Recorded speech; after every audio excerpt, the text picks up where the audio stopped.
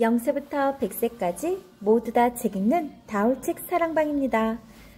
오늘 선생님이 들려줄 이야기는 2학년 교과서에 나와 있는 선생님, 바보의사 선생님, 글 이상희, 그림 김명길, 바로 장기려 선생님에 관한 이야기예요.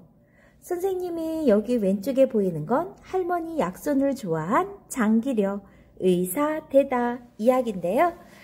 음, 이 장기려 선생님이 왜 바보 의사 선생님인지 여러분 잘 생각하면서 들어보세요. 아, 참 따뜻한 손이에요. 장기려 선생님 손이에요. 어느새 깜깜한 밤인데 선생님은 왜 안 자는 걸까요? 나처럼 늦게 자고 싶은 걸까요?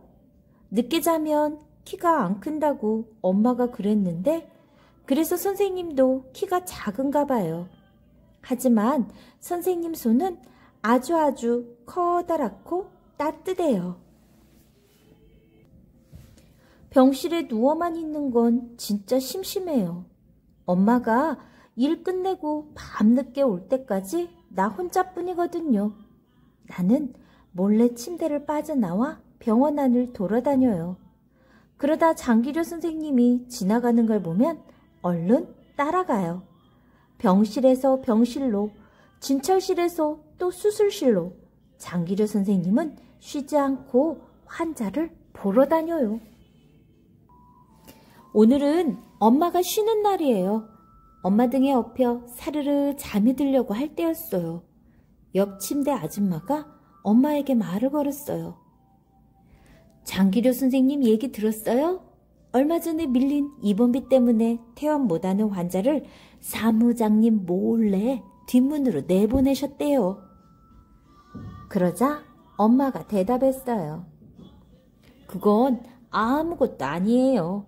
은행에서 병원으로 전화가 왔더래요. 어떤 거지가 선생님 수표를 가지고 왔으니 확인해 달라고요. 틀림없이 훔친 거나 주운 것이라 생각했는데 세상에 월급 받은 걸 통째로 준 거였대요.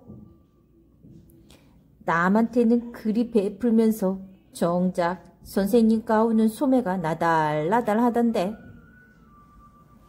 월급 많이 주면서 모셔가려는 병원도 많은데 우리같이 없는 사람들 돌보려고 사서 고생하시는 거래요. 그래서 별명이 바보 의사라잖아요. 선생님이 바보 의사래요. 장기려 선생님은 바보 의사 선생님. 나는 선생님을 찾아가 보기로 했어요. 간호사 누나가 가르쳐 준 대로 병원 옆으로 난 오솔길을 따라갔지요. 하얗고 작은 집. 여기가 장기려 선생님 집이래요. 나는 코가 납작해지도록 창문에 들러붙어 구경을 했어요. 방 안에 책상, 책, 침대, 그리고 갑자기 커다랗고 따뜻한 손이 내 어깨를 만졌어요. 너 기호 아니냐? 이렇게 다녀도 괜찮니? 무릎 수술이 잘 돼서 다행이구나. 하지만 너무 무리하면 안 돼. 나는 깡충 뛰고 싶을 만큼 반가웠지만 입에서는 엉뚱한 소리가 나왔어요. 선생님, 집도 우리 집처럼 가난하네요. 선생님은 껄껄 웃으며 나를 집 안으로 데리고 들어갔어요. 그런데 선생님, 어디 갔다 왔어요? 의사가 없는 마을에 가서 사람들을 치료하고 왔단다. 병원이 없어서 아파도 치료를 받지 못하는 사람이 많거든. 나는 갑자기 궁금해졌어요. 선생님은 어릴 때부터 의사가 되고 싶었어요? 그래, 의사가 되고 싶었지. 가난하고 병든 사람을 돕는 의사. 그런데 점점 어려워지는구나. 치료에 쓰는 약이나 기구값이 엄청 나거든. 그래서 요즘은 건강할 때 조금씩 돈을 모아서 병나고 다쳤을 때 걱정 없이 치료받을 수 있는 방법을 생각하고 있어. 나는 그때 마음먹었어요. 장기료 선생님처럼 가난하고 병든 사람을 돕는 의사가 되겠다고요. 선생님 같은 바보 의사가 되겠다고요. 인간 친화지능이 높은 의사 장기려 선생님 조금 더 설명해 줄게요. 장기려 의사 선생님은 평생 이웃을 사랑하는 마음으로 환자와 세상을 치료한 의사예요. 인간 친화 지능이 높았던 장기려 의사는 가난하고 아픈 사람을 소중히 여겨 정성을 다해 환자를 보살폈죠. 몸은 물론이고 마음까지 따뜻하게 돌볼 줄 알았던 장기려는 많은 의사의 본보기가 되었답니다. 음, 1979년에는 막사이 사회상을 수상했어요. 사회봉사 부분 이네요. 여러분들 조금 더 이야기해 드릴까요? 음, 1952년 아프리카에서 의료봉사 활동을 펼쳤던 여러분들 슈바이처 박사 알죠? 슈바이처가 노벨 평화상을 수상했고 1959년 초특급 태풍 사라가 우리나라를 덮쳤을 때 천명 가까운 사람이 실종되거나 죽었고 100만 명의 사람들이 삶의 터전을 잃었대요. 이때 당시 장기려 의사는 당시 발벗고 나서서 아픈 사람을 많이 도와주었다고 합니다. 그리고 1971년 국제의료 구호단체인 국경 없는 의사가 설립됐고 1989년 우리나라 최초의 의료보험이던 청십자 의료협동조합이 해산됐다고 하네요. 아, 그렇구나. 여러분들 혹시 의사가 되고 싶은 친구 있나요? 의사가 되면 어떤 점이 좋을까요? 또 의사가 되려면 어떻게 해야 될까요? 우리 조금 더 들어볼까요? 생명을 구하고 건강을 지키는 의사. 의사는 사람들이 병에 걸리지 않도록 예방하고 병의 원인을 찾아내서 치료하는 사람이죠. 무엇보다 소중한 생명을 다루는 일이라 보람도 많지만 그만큼 힘들고 어렵기도 해요. 탐구심이 높아서 공부하기를 좋아하고 사명감과 판단력이 뛰어나다면 의사를 꿈꿔보는 건 어떨까요? 중고등학교, 대학교 졸업 후에는 어떻게 해야 되는지 선생님이 간단히 들려줄게요. 의사가 되기 위해서 중고등학교 때는 과학 과목을 중점적으로 공부하는 편이 좋대요.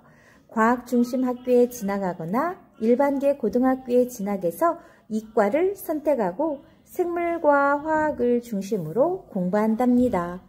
대학교에서는 어떻게 하냐고요? 의과대학에 진학해 총 6년 동안 교육을 받아요. 생물학이나 화학 등 자연과학의 기초를 공부하고 구체적인 질병에 대한 연구도 하죠. 의과대학을 졸업해야 의사 국가시험에 응시할 자격이 생긴답니다. 또 대학에서 의과가 아닌 다른 전공을 선택했다면 의학 전문 대학원에 진학해 공부할 수도 있어요. 졸업 후에는 또 어떻게 해야 될까요? 의사 국가시험에 합격한 뒤에는 의원을 개원할 수 있어요. 의사 면허를 딴 후 보통 인턴 1년, 레지던트 3, 4년 과정을 거쳐야 전문의 자격시험을 볼 수 있죠. 전문의 면허를 딴 뒤에는 종합, 대학, 병원 등에 취업할 수도 있고 또 자격증을 보면 의사가 되려면 의학과를 전공하고 의사 국가시험에 합격한 후 의사 면허증을 발급받아야 합니다. 의사 면허 취득 후 전문의 자격시험에 합격해야 전문의가 될 수 있어요. 한편 의학전문대학원에 진학하기 위해서는 의학교육 입문검사 시험을 봐야 합니다. 자, 의사가 되는 길 선생님이 조금 더 설명해 줄게요. 의사가 되는 길이에요. 의학과에 입학하고 2년을 다녀요. 그리고 본과 4년을 다니고 대학교를 졸업한 학사학위 그리고 의학교육입문 검사 시험도 보고 의과 전문 대학원 4년을 다닙니다. 의사 국가 시험에 합격하면 의사가 되고 인턴, 레지던트, 전문의 자격 시험을 합격하면 전문의가 되는 거죠. 이렇게 해서 병원, 종합병원에 취직할 수도 있고 가정의원 아니면 전공 과목을 살린 자기 어, 전공 과목을 살린 것을 개업할 수도 있어요. 그러면 여러분들 초등학생인 지금 여러분들은 어떻게 하면 좋을지 한번 볼까요? 어, 과학은 어떻게 공부하면 좋을지, 도덕이나 체육, 영어 기본기 기르는 방법 선생님이 잠깐 들려줄게요. 의사의 의사가 되기를 희망하는 친구는 꼭 들어봤으면 좋겠어요. 여러분들 교과에 도덕 있죠? 봉사의 즐거움 알기. 봉사는 배려하는 마음으로 다른 사람을 돕는 일이에요. 어려움을 겪는 친구 도와주기, 봉사단체 활동에 참여하기 등 일상생활 속에서 실천할 수 있는 봉사활동에 어떤 것들이 있는지 한번 알아보세요. 그러면 과학은 또 어떻게 공부해야 될까요? 과학은 우리 몸 관찰하기. 우리 몸은 뼈와 근육, 소화기관, 순환기관, 호흡기관, 배설기관, 신경계 등으로 이루어져 있어요. 인체 모형을 통해 우리 몸의 각 부분을 유심히 관찰하고 각 기관이 어떤 역할을 하는지 알아보세요. 아, 또 있어요. 영어와 체육도 잘할 수 있어야 된답니다. 한번 볼게요. 의학은 서양에서 시작된 학문이에요. 그래서 여러 논문이나 책들이 영어로 쓰여 있고 실제 의사들이 진료할 때 쓰는 용어들도 대부분 영어랍니다. 의학 공부의 기초가 되는 영어와 미리미리 친해지도록 해보세요. 영어는 반드시 필수. 열공! 의사가 환자를 돌보려면 건강해야 되겠죠? 의사의 활동량은 생각보다 높아요. 매일 반복되는 진료와 수술, 그리고 연구까지 감당해야 해요. 그래서 무엇보다 의사에게는 기초 체력이 중요하죠. 기초 체력은 일이나 공부 등 모든 신체 활동을 하는데 기본적으로 요구되는 체력을 말해요. 매일매일 꾸준한 운동으로 기초 체력을 키워보세요. 선생님이 들려준 내용은 할머니 약손을 좋아한 장기려 의사대다에서 발췌해 들려드렸습니다. 좋아요, 구독 꾹 눌러주시면 선생님이 계속해서 좋은 책 소개해 드릴게요. 감사합니다.